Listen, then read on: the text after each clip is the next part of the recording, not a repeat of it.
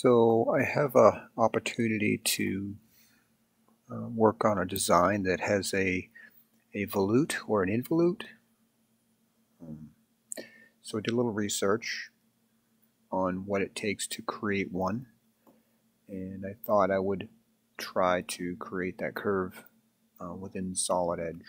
So we have a very simple uh, sketch in the 2D model environment we look at our relationship handles, I have made just a few relationships to constrain this completely. Uh, we have a dimension, I've, I've assigned a, a, variable of r to it uh, for 0.5.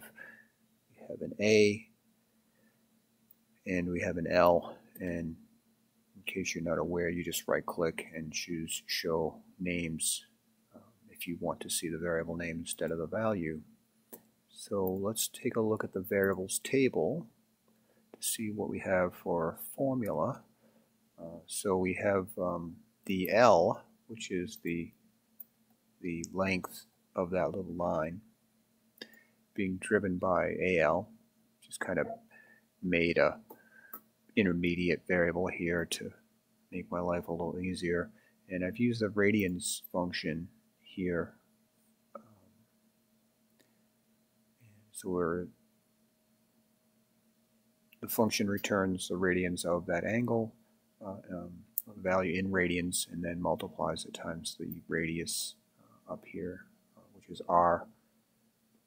So this seems to be correct for uh, the involute definition so I'm going to set this initially to a very small value. Zero is not allowed.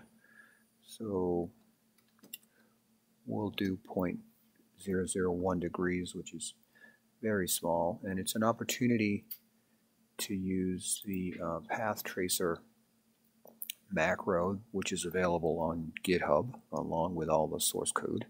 Uh, this little macro simply allows you to choose a user variable and then um, it will drive it to a limit and um,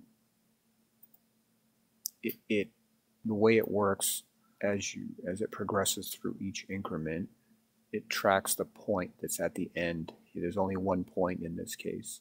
So it it moves the increment observes the location of the point moves the increment and does this for as many times as you specify the increment. Um, so it will create a curve then at the end through those points. So we'll just process that. And there we have it, um, an involute curve. Uh, isn't necessarily associative, of course, um, but you could run this again and again until you get the, the shape that you want. Thanks for watching.